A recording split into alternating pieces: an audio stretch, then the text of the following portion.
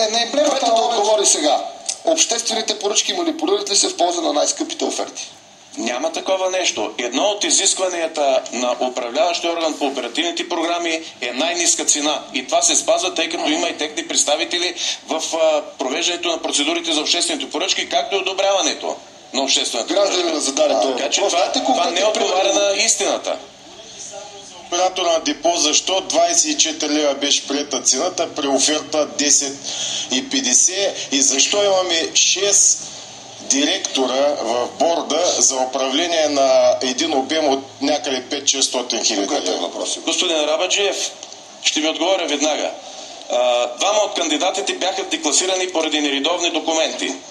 И това е написано със становище. модела. Това е написано със становище на комисията, в която имаше представител от отдел правен на Министерство на правосъдието, още един експерт, който е по обществените поръчки, така че всички са се подписали под това становище. Имаше още един конкретен. А защо по-скъпата оферта 24 вместо? Защото другите отпаднаха просто. А, ясно. поради нередовни Като документи.